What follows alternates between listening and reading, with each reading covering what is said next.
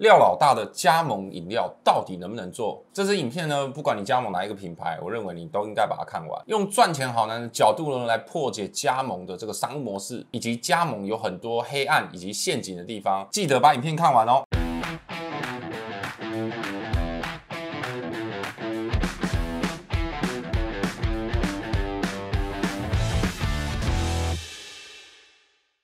哟，gentlemen，大家好，我是法帅。我是珍妮。那我是一个在加盟协会深耕很久的企业主。那珍妮呢是一个吃货，上一集表现的非常好，喝饮料喝的棒。我也认识非常多加盟品牌的企业主，不管是企业总部还是加盟主。那我们今天就来聊聊廖老大的加盟饮料的品牌，到底网红开店是有真的实力呢？还是只是蹭一波热度而已。那我们要首先先了解这个品牌的缘由。你知道为什么会有这个品牌吗？我不知道。好，对你连廖老大这个人是谁都不认识，对不对？不知道。好，因为他你不是他的 TA。嗯。那会有这个品牌，是因为廖老大他本身哈，他去加盟一家叫做一方，赔了非常多的钱。当然，这不一定是一方的问题，有很多因素在里头。嗯。那他这个点呢，就位于这个岭东科技大学下面。嗯。那他当时就赔了很多钱。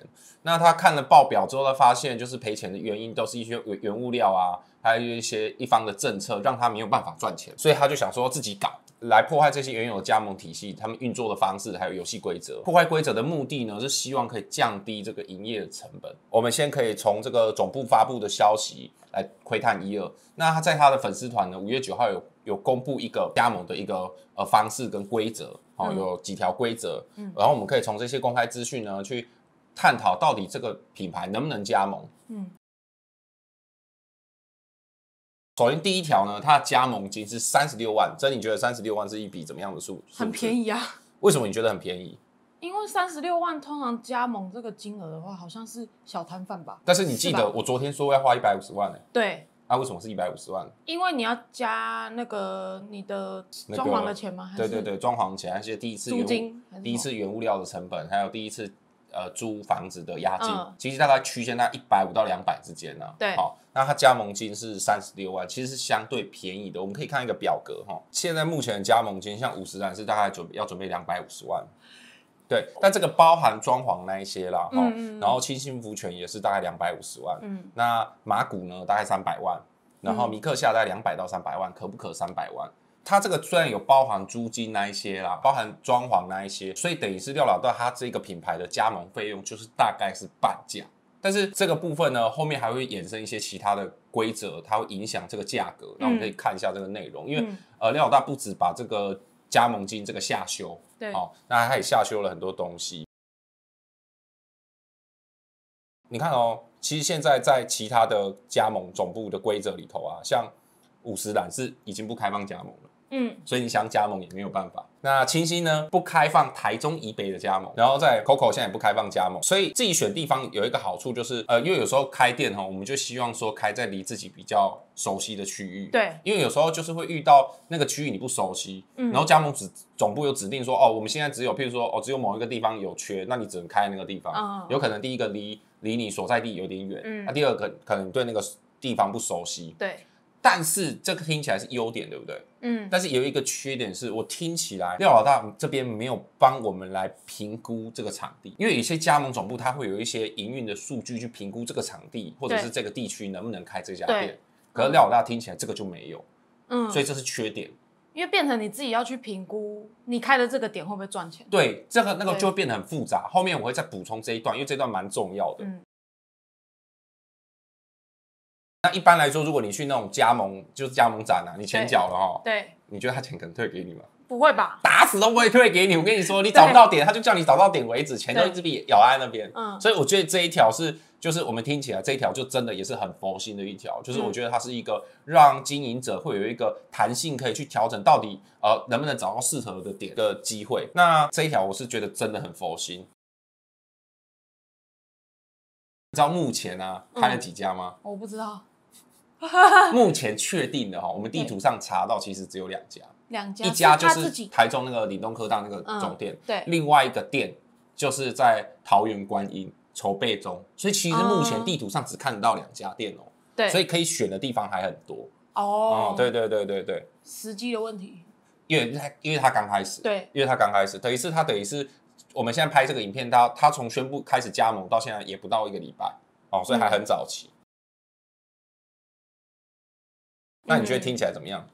我觉得合理吧，合理哈，好不，是吗？不合理吗？没有不合理啦。我们可以看看别家的这个嗯，这个训练条件哈，对，像像那个马股啊，嗯，马骨要训练三十天或两百四十个小时，哦，等于是他三倍的量哦，哈、有一些公司它是会规定这个负责人要参加六百小时的培训，像清新是六百小时的培训。百哎。那你觉得培训多好还是培训少好？如果以一般创业的他完全没触碰饮料业的人来讲，应该是多比较好吧？好，没错，这个问题在于，我觉得培训的内容到底是什么？因为其实很多加盟的培训哦，对，是可能其实真正上课就上一天或两天，然后其他是你自己练习，不是，其他是把你丢到一家店，让你当、啊，对，让你当那家店的店员，啊，对哦，然后没有薪水领哦，好像是实习生的概念哦啊。哦对对哦哦对对对，所以我觉得这一点在加盟之前，我们都要问清楚到底他培训的内容是什么。哦，对，不然等下去他给你乱上一天一堆课，哦，那其实也没有意义啦，哦，也是，对不对？嗯。这个很重要吧？对对对，哦，大家都没有注意到，所以到底嗯。培训内容是什么？我觉得很重要，而不是培训你多长时间或嗯。或什么东西。重嗯。重点是培训的内容对，跟方式。没错，啊。那这一点我就要分享一下，就是说这个这个这个也是很加分的，嗯因为一般来说哈，譬如说你总部他会叫你准备，比如三百万，对，这三百万就是传统的加盟的方式啊，嗯这三百万可能包含了加盟金，嗯，包含了呃授权金，对然后包含了一些设备，嗯然后包含了装修。对，那装修都是总公司配合的设计师跟工对啊班，对啊所以就变成说，你觉得总公司会不会赚一手？一定会啊，对，一定会赚一手。一啊嗯所以就变成是说，在装修这一块，你有可能会被加盟总部赚到钱。嗯，对，但是廖老大这个方式就是，他设计图给你，嗯，他会报价给你。对，如果你觉得价钱不 OK，你可以自己找工班来装哦，修。我懂你的，所以这样就有一个便宜，就有一个嗯价对，你可以。去自己去比较，所以哦其实这个装修费用很可观哦，一家店的装修费用大概都在一百到两百之间。嗯，如果今天是完美店，可能甚至会到三百。对，那你打个八折，嗯其实就就有一个二三十万、四五十万的差距，其实很大。嗯，然后再就是装修这件事情呢、也是加盟要特别注意的地方，因为有一些公司啊，它就是你你加你加盟哦，可能第一年、第二年哦，我终于赚到钱了，可能加盟一家店哦，这个净利润已经赚了一两百万了，很嗯开心，对不对？嗯结果公司就说，我们两年之后我们要重新调整我们的店的色系，然后你就重新装潢，钱又全部搭回装潢里头了。哦，所以真的很重要的地方就是，如果你今天要加盟饮料店，嗯那个装修成本真的是越低越好。所以这个部分是一个很重要的。那听起来，在廖老大他设计的机制里头，因为我有去实际去看他店嘛，嗯他店所有的装潢、所有的东西都是用很便宜的，嗯，并不是说便宜就不好，对，而是说他可能这样子可以降低大家这个在汰换他装潢的一个成本。嗯，还有因为因为有时候会遇到你可能店租有问题，店租呃店东涨店租，你可能不想要租在那边，你要移，嗯。装潢搬不走哎、哦，对啊，啊那所以就这些钱都会烧掉，对，所以这个是加盟或创业，尤其餐饮行业特别容易踩到的雷，嗯，这个要特别注意。嗯嗯。这个部分呢，哈，我觉得蛮一般的，就每一家加盟店都会做。对，那我咨询过十几家的那个饮料店的老板哦，嗯。他们都会说饮料哈能自己送就自己送，因为为什么你知道吗？被抽成。那为什么我会强调是饮料店嘛？你知道吗？因为饮料店哦不能做变形菜单，譬如说现在餐饮业餐厅，它跟富喷茶配合，它跟乌贝一配合，它都会做一个变形菜单，就是外送哦哦，使用的。我懂了，我懂了，譬如说牛排，减料啊，或者哎，，料会被减少，哦哦哦牛排会变小块，哦，对对，好，对或者是只有外送才看得到的那个菜单，嗯嗯嗯所以等于是说，它被外送平台抽成的这个部分，它可以靠它变形的菜单去补回来，嗯，但是饮料店没办法。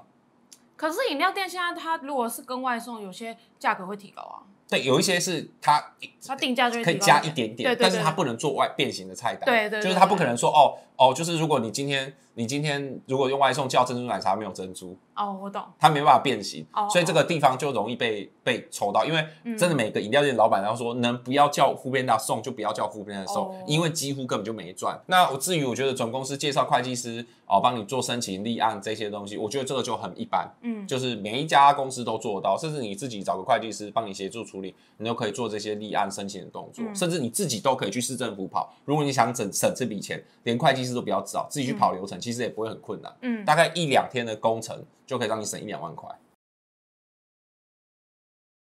那这个部分呢，就是跟装潢很像，对，就是因为装潢的部分就是公总公司是想赚你一手嘛，嗯，他也想赚你一手，他所以他有规定要一样的。嗯那廖老大这个很不错，就是你连拿二手都可以。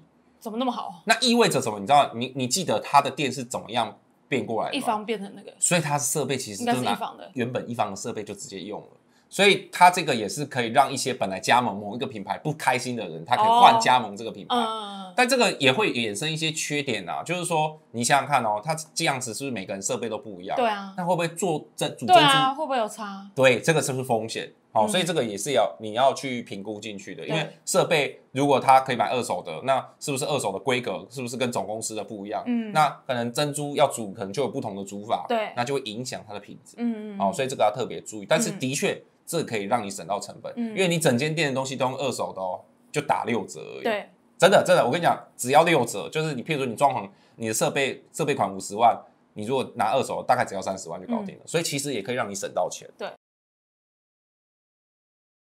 这个部分也是你就直接廖老大对特别强调，就是我们不抽成了，这么屌哦，我们就不抽那。他赚什么？对，所以他就他就强调就是说，我今天就是不是要赚你的钱啊，我今天就是要让大家可以创业可以赚钱，因为一般传统的哦。传、统的加盟对。就是饮料传统饮料店加盟，就是他会帮你的原物料，对，然后原物料每一个都给你抽钱，每一个都给你抽钱，对啊对啊不对？嗯。好，所以这个是他是是出一个很佛心的善意。哦。可是其实这个模式哦，早在其他的品牌早呃其他的类别早就有了，嗯。譬如说早餐店，有一些早餐店也不绑原物料，哦，你跟他加盟，他就是给你那块招牌跟装潢。哦，那原物料他也不过手，他也是直接给你，嗯。因为现在是一个太消费透明的时代，嗯。包含 B to B 一样，所以要找到便宜的厂商也不是那么难，嗯。所以他就这个合约里头就不会拟定说，呃，你一定要给我进原物料，嗯。原物料你可以自己跟厂商采购，哦对，但是这个部分哦，其实它会有一点风险，嗯嗯那风险是什么呢？就是虽然我们让这个店家有这个毛利提升，因为本来本来你原物料很嗯的成本很重嘛，嗯让你没办法赚钱。那原物料算下降了，但是能不能真的要降到多便宜？有一个很关键的核心因素就是店家数。店家数就比如说廖老大，它这个品牌的店只有三间，嗯跟三十间跟三百间，嗯三百间一定比较好跟原物料商谈价格，对，啊，因为是三百间量嘛。哦对可是我只有三间，只有五间，只有十间呢，哦其实价格未必真的压得下来。嗯嗯嗯虽然你可以直接对应那个厂商，这个是一个很有趣的部分，就是说被人家抽成的话，或者是被塔价格，真的会买贵，嗯，这也未必嘛，对，因为有可能它的底价是比较低的。他塔了一个价格是这样子，卖给你的价格是这样，可是有可能你自己去进货，谈到价格就是这样啦，哦。也不一定比较便宜，懂吗？对对对所以这个是一个迷失啊，我觉得这是一个迷失，所以嗯。我觉得身为一个加盟者，你应该要自己去了解，就是你的原物料会影响你的毛利率到底有多少，嗯嗯并不是有没有被抽这件事情就一定贵，并不是被抽或者是被塔价格就一定贵，嗯我觉得大家都容易误会。对，所以这个是我觉得一个潜在的风险啊，就是到底廖老大这个店到底最后我们，譬如说我们开出一个高原期，就是到最后成熟期的时候，到底是几家店？嗯哦，这件事情也是风险。嗯哦，所以你说我要不要加盟？我有认真做功课吧，不是随便要有有有加吧？这个我觉得有一点去中心化的概念。嗯为什么？因为一般来说，传统的这个加盟哈，加盟总部说用什么就用什么，对，啊加盟主没得谈啊。对啊对啊，可是这一次是有投票的机会，哦但是对餐饮业来说呢，其实它有一点风险，就是它会失去产品的稳定性。哦嗯哦就是因为餐饮有句话是这样讲啦，哈，就是稳定比美味更重要。对因为美味是主观的，嗯稳定是客观的。就是说，就是说，有一些东西，它可能东西我们觉得不好吃，可能有人觉得好吃啊他一直做出那样子的味道的东西，它有锁定一群客人。对。那如果它的品质会改来改去，改来改去，是不是就容易没有办法锁定客人？嗯嗯。对。但是换另外一个角度，其实它得是拉长它跟厂商的磨合期，就是说啊，我们就一直试，就有点像你知道小时候我们吃团扇啊，我们嗯学校以前吃团扇是我们每一周都会投票，最难吃的厂商踢掉，换一间新的进来。哈对，就是每一周都会，因为我每周都吃不同的便当嘛，嗯然后吃完之后看哪一间不好吃，我们就把那一间踢掉、嗯啊。可是踢到最后哦，对就会没有厂商可以踢了。因为嘿该踢都踢掉了嘛，嗯。它就稳定了。哦。所以其实最后也是会出现那个稳定来提供这个品牌的原料商。对。只是说，我觉得有趣的是，加盟主是有机会参与的，嗯。只是在参与、在投票、在选择的过程中，这一段时间，这个品质是可能会有对啊，不稳定的状况。对对对，对。啊，不过这个东西就是好处就是，身为加盟主，假设你要加盟，你是有决定权，嗯。你可以去影响想要用的原物料的嗯。方式。的。嗯。对，嗯所以我觉得这是好处。就是意思意思是说，加盟就有三种形态耶。因为一般来说，譬如说有一些公有一些加盟品牌，它就专门做餐车的，对对对对，有一些加盟品牌，它就专门做夜市，嗯嗯有一些加盟品牌就专门做店面的，对它三种都有，然后三种收一样的加盟金。这样合理吗？呃，我觉得加盟金这个 OK，只是说它真的有办法做出三个不一样的版型吗？你看哦，它需要三套的外观设计，对，三套的工作流程动线设计，嗯。三套的这整个呃销售的一个方式的设计，嗯。所以它都要有三套哦。嗯。哦，那我觉得这个后面两种会很像惊喜包，对啊，因为现在我们目前只看过店面的形态，对对对，不知道它在夜市卖嗯或者在餐车卖会是什么样子。嗯嗯。但是我觉得这也是，就是如果你今天觉得你今天创业的东西风险不稳定性越多的东西，对，其实越越有可能获利啦。因为所有东西都很稳定的，其实它获利就不太可能大大幅度的成长。我举一个例子，嗯像清新，对你要加盟的时候，其实总部跟你自己都已经可以算出这间清新一个月可以帮你赚多少钱了。好因为清新太稳定了，你懂我意思吗？多少比例的人在喝清新？清新有没有一个大数据？对，有，他都猜了，他都已不是猜，他都已经科学调查都调查出来了。嗯但是调查他这个有没有办法？没有，所以有可能会摔死，对啊也，有可能会飞上天。对啊，对，这个就是新品牌的一个一个优势，值得冒险的地方。嗯这可能是一些文书的手续费啦，哦我觉得这个还好，这没有，什么，没有什么好好好聊的。嗯你有没有觉得好像在帮他做面子？因为钱是要交给总公司，让总公司去做对慈善。但是我想会加盟他的人应该是喜欢这个人，对啊就喜欢廖老大这个人。对啊，没错啊，对，那那就是我觉得大家会比较没意见，但是这个盈利十趴是总公司还是每一家店没有没有讲清楚、哦。对啊对啊。就这十趴是拿总公司的盈利的十趴去捐，还是拿加盟店的十趴去捐？嗯。哦，这个他在文案里头讲的非常不清楚，嗯。这个就要部分要小心哦，哈。嗯。那为什么会有这一点呢？是因为有一些有一些加盟的体系哈，如果你今天因为你自己决定要搬家，嗯。或你自己决定不做了，对。他会跟你收违约金，或者是没收你的保证金，会罚钱的意思啦。哦，那他的意思是说，如果你放弃不做，是不会罚你钱的。哦是哦，好，所以这这一点也算佛心。哦，这一定要的啊，对，那我觉得这很像明星加持啊。你可以你可以想象，有一些粉丝他花三三十六万跟廖老大见个面，嗯，他是觉得很划算的。对对对他有一定觉得很便宜嘛。嗯嗯像我一个好朋友吴尊，他自己也开饮料店，嗯，那不是不是是不是帅的吴尊，哦，是不帅的吴尊。对那他自己开饮料店，就是他自己也会去站台，嗯所以这个算是这种店的加持啦。因为有一些，比如说可能八点档女星，她也副业是开饮料店啊，她也都会去站台。那我相信这个有流量啊。对，那但是这个模式就很吃客群跟观众，为什么？因为像你，我跟你讲，廖老大是谁？对啊，我就不知道是谁，完全不知道是谁，所以等于是说，你那个店的那个东西，他会吃受众。嗯，像你喜欢王美店的人，就不会，可能就比较不会喜欢，就不会喜欢廖老大这种店。嗯那，相对对廖老大去站台，对你来说，那种是谁啊？对对对，穿着一个黄色衣服的阿，贝，那谁啊？嗯对对，会变成是这样。所以这个有这个部分就是很吃受众。嗯，对，那就是等于是说，这个品牌的内容要跟这个呃受众是有搭嘎的就可以。像他就不能去赞美呃站台王美店，因为很怪。对对对，那他的店就是比较土性，嗯你可以看菜单就是很土性嘛，就是很台湾的感觉。对对对，因为他他算是呃赛车界的台湾英雄嘛。嗯对对对对。所以他 野心很大哦，他还想做别的，对他野心很大哦，他还想要做卤味，还想要做鸡排。哦，当然这是他想想啦，因为嗯我真心觉得他没有做过餐饮，他可能这次做也有可能会吓到，哦，就是吓到之后发现没那么好做，还是去改车子比较好。哦，对对，他是主要他主业是做避震器那个嗯。呃赛车相关的一些改装品。嗯。对，所以这个部分就是这个部分就是当然就是我觉得以听听就好了，因为嗯。会不会开不知道，这是对。画画大饼哦对对对，啊，总部喂你吃饼啊。嗯。基本上饮料老大除了他那一杯比较特殊的炸七耶那一杯一百块，我们不把那杯考量进去，因为嗯。那杯是点好笑的。嗯扣掉以外呢，现在台中直营店它的这个价格落在是三十到七十之间。嗯，对，那你觉得是平价的吗？可以啊，可以吗？我也觉得蛮平价、对啊。就算价格有增减，那就是二十到八十之间，嗯就是正负十块。嗯我觉得价格是相对低廉的啦。以现在的饮料的业界来说，对啊对啊因为现在新创的品牌饮料业界都很贵。都贵到爆炸，不是不知道再贵几点的嗯哦。那我这个之前前面有讲过嘛，嗯，其实，在加盟总部都会规定加盟主一定要跟外送平台签约，原因是什么？你知道吗？有一个很黑暗的地方，就是因为这样报表会看起来比较漂亮。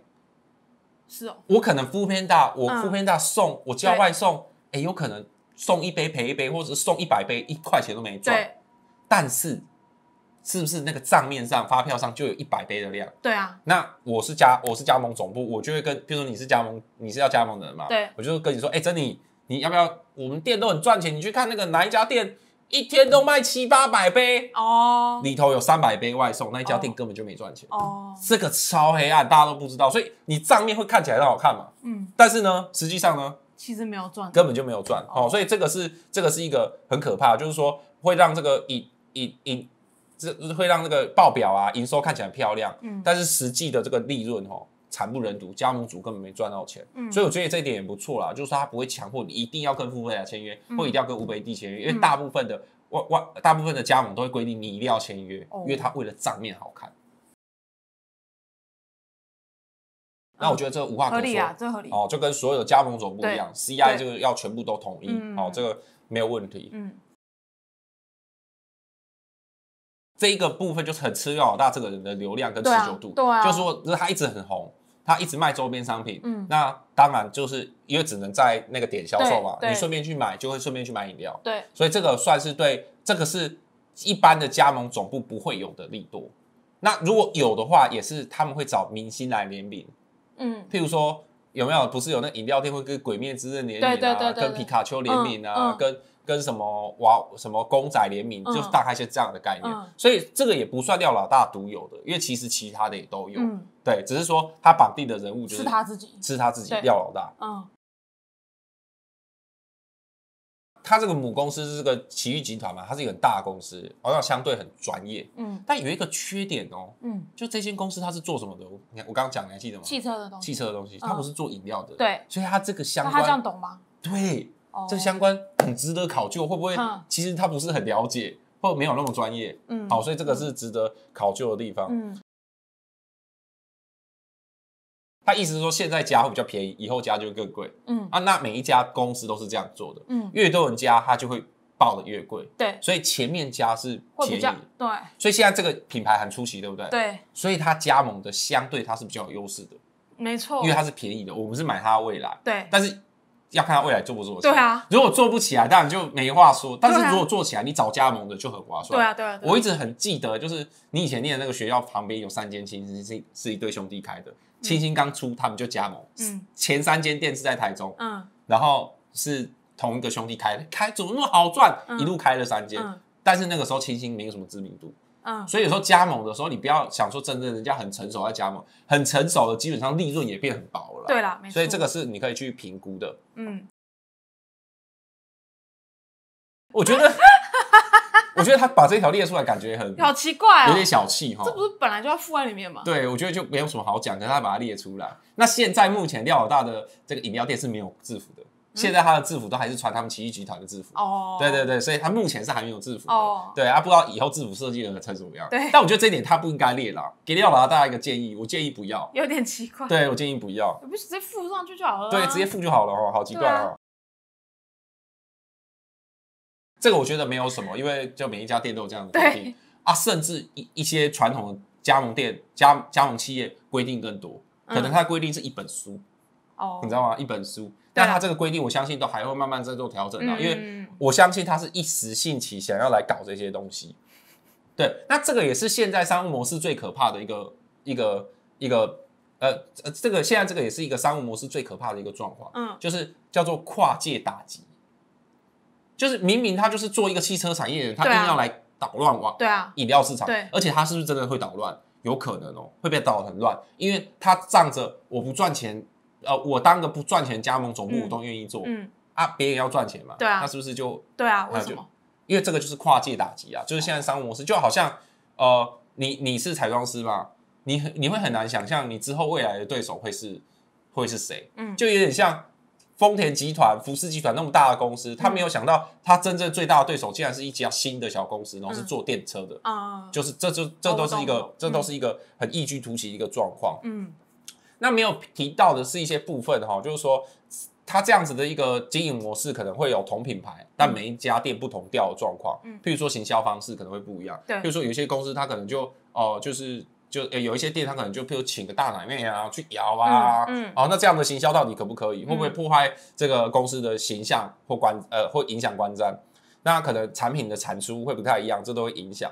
那我相信它这种廖老大这种非常态性的加盟形态，嗯，未来一定会问题很多，就是哦因为很多都是不明确。你看我们刚刚念出来的是啊，但是也有可能会有爆炸性的成长。嗯好，那因为创业本来就有风险嘛，嗯廖老大的初衷本来就是想做一个与众不同的的加盟总部，嗯好让大家有一个创业的机会，这样。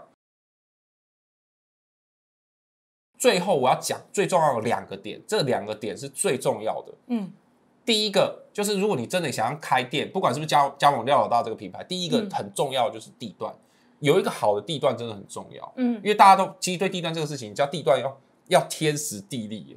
对啊，什么叫天时地利？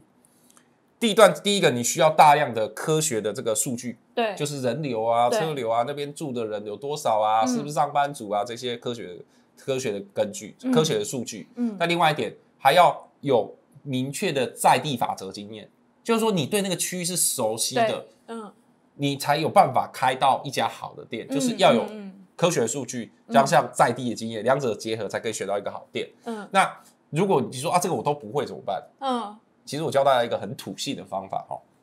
比如说，你看到一条街，那条街有三家饮料店，都开蛮久的，那嗯。那边有没有机会开饮料店？有有啊，因为嗯就表示它都可以养活三家饮料店了嘛，对不对？好，那很简单，我们那三家饮料店呢，嗯。我们去去数杯数，去数杯数，就坐外面数杯数，哦。一，杯一杯一杯一杯数，你就一整天坐在那边，一整天坐在那边 看几个人进去这样。不是你前面都花几百万了，你这个功课先做哦 OK 吗？你就啊，不然你你你要是有对。有没时间有钱，就派人去数哦，嗯。一杯算一盒，一杯算一盒，嗯，看他这三间店嗯。一天到底可以卖几杯，哦，除起来的综合数，嗯。就是这一家这一个商圈大概有的一个杯数，或者是说它的总杯数就是这个商圈的消费力，哦，对，就可以这样子去，这个很简单，对不对？好聪明哦，这个叫做田野调查。好，创业一定要做这个事情啊！嗯前面功课做很多，你后面就不容易赔钱。嗯好，再来第二点呢，一个很重要的，超级重要，最重要一点就是人事成本。哦，我每个我我我在做这一集之前，我已经打打给十几家饮料店的老板，每一个老板都跟我说，什么？你要开饮料店，嗯。你人要有请得到，请不到不要乱开。他的意思是说人非常难请，像对啦，员工很难请的，不是员工很难请，是餐饮业的员工特别难请。因为工作辛苦，但是时薪很低，是对，就是工作其实相对辛苦，然对。后薪资又不高。对，你看现在的年轻人可以坐电脑，呃，可以不是坐电脑，可以坐坐办公室吹冷气用电脑这种嗯。就好啊，对，啊还要那边摇、嗯。哦，不要不要，又没有冷气，我不要不要不要。是哦，要找到人，对，所以他要请的难易度就相对很高，嗯然后人的流动性很高，嗯，所以这一点是千万不要开玩笑的。所以最好哈、自己可以下去顾点。你要开这个饮料店，自己最好要下去顾，不然就是要一个非常值得信赖的一个店长、经理人可以帮你顾，这很重要，嗯就一定要有这样的一个人哦、不然的话，你不要觉得说啊，当老板我就花钱请人就好啦。请不到人，现在的问题就是花钱也请不到人，哦，对，花钱也请不到人，对，对对，所以这个问题就就没有办法解决的话，基本上这两个问题啦，你没办法解决的话，绝对不能开。嗯，哦，那我现在我不是很冲动，对，今天每天遇到公司的每个人都问我说啊，你知道开店哦？一堆朋友打电话来给我，粉丝一直问我啊，你知道要开哦？每个人打电话问我啊，酷炫的饮料店都倒了，你还要开哦？什么？就是一直一直在呛我这样。但是其实我不，我我真的有要开，但是问题是我需要找到这样一个 key man，对，就是说我因为我有在跟一个呃很很亲的人在讨论这件事情，到底要不要开？嗯啊，如果他愿意下去做，对，那我们就可以开。嗯所以如果你可以克服这两个问题呢，我认为完全可以加盟。嗯，同意吧？如果有人对愿意帮我们一起做，那我觉得绝对可以加盟。嗯好、那当然也大家欢迎大家在下面留言，一跟我们一起讨探讨加盟的看法。那当然廖老大这个品牌到底能不能加盟呢？希望我这些意见呢也给廖老大听到，可以调整一下你。对呀，哎，我也是专业的创业主，好不好？虽然钱没赚他赚的多，但是我觉得他是一个呃很令人尊敬的前辈啊，因为他有赚到钱。那我希望这一部影片呢对他有帮助，他可以。